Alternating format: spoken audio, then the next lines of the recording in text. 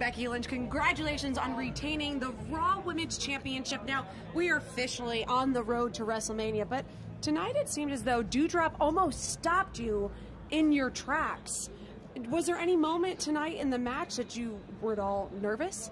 That you wouldn't retain. No, I wasn't nervous. I wasn't nervous at any point that I wasn't going to retain. Of course, I knew I, I, had I had tricks up my sleeve that I was ready to bust out. I knew I couldn't use the same offense on that I would use, say, on a Liv Morgan, on a Bianca Belair. I knew I had to pull some tricks out, go to the top rope a couple of times, and it worked. So no, was I scared? No. Was I hurt in that match? Yes, a lot, but I got back up like I always do. I'm so freaking hot, I set the WrestleMania sign on fire. Did you see that? Yes, that's how straight fire I am.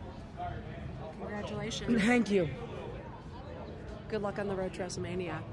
I don't need luck, I'm very, very good.